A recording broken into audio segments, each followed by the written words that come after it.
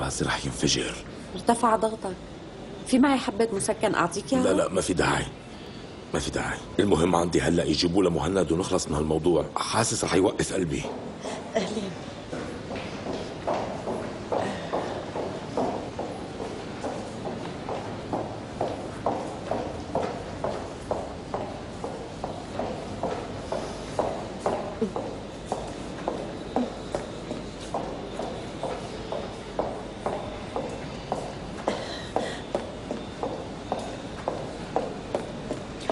مؤيد المكان عجقة هنيك. خلينا نحن نوقف هون.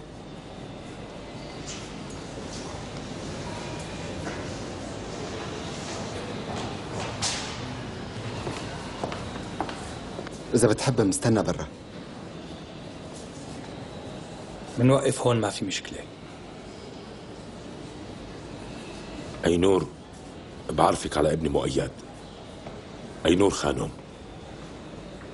أهلا وسهلا. أهلين.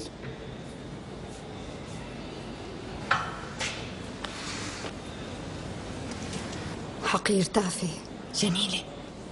ما في داعي للمشاكل هلا مو وقتها. خليكي هادية. أنت جاي مع هذا الحقير على المحكمة؟ كيف؟ أنت ما عندك دم هذا الحيوان هو اللي اشتكى على أخوك ودخله على السجن. بابا أنا أجيت مع ماما ما شفتنا ونحن فايتين. رجاء لا تعصب.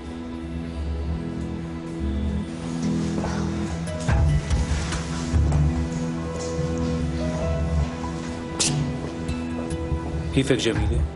وإلك عين تسأل هي الجلسة مو نهائية بتعرفي هالشي؟ رح تشوفوا شي ما شفتوه بحياتكم وأنا رح أتفرج عليكم وأنا شمتانة لا تعصبي جميلة بترجاكي ليك الصحفيين عم يطلعوا علينا إذا كان بدك ما نطلع بأول صفحات الجرايد لازم نحافظ على هدوءنا مو هيك؟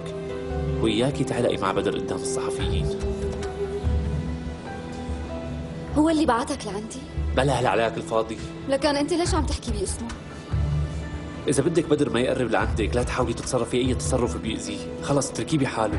بدك تفهمني إنك خايف علي؟ من إمتى عندك طيبة هالقلب؟ أساسا كل شي صار معي بسببك أنت. ها؟ كل تصرفاتك بتأكد إنه أنت سعيت ليدخل مهند على السجن. بس كل تعبك راح على الفاضي. ما رح تقدر تفرقنا عن بعض. لا أنت ولا بدر. عن جد حاسة بشفقة كبيرة عليكم. حبي لمهند ما في قوة بالعالم بتوقفه.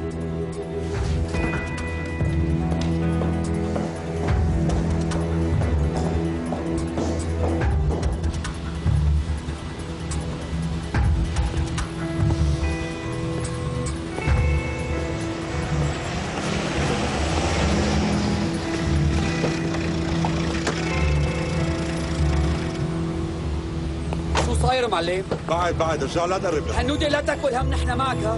رح تطلع من هون إجباري عن الكل. لك بدك تطلع وأنت عم تضحك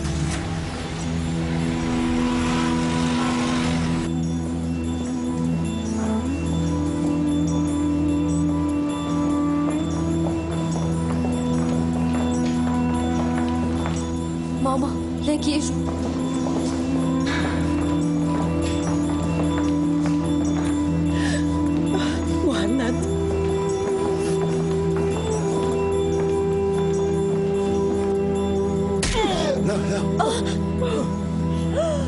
بدر بيك صار لك شيء؟ أي مو لأنك قدمت شكوى فيني يا كلب؟ مشان جميلة.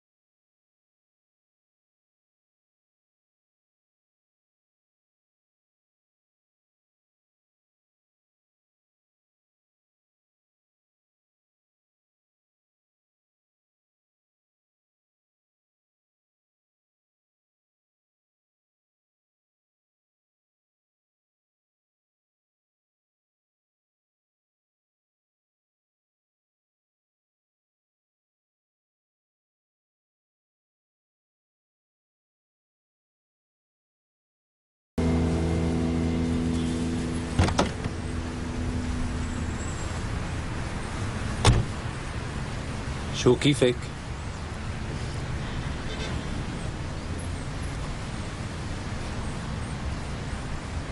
اشتقت لك كثير وأنا كمان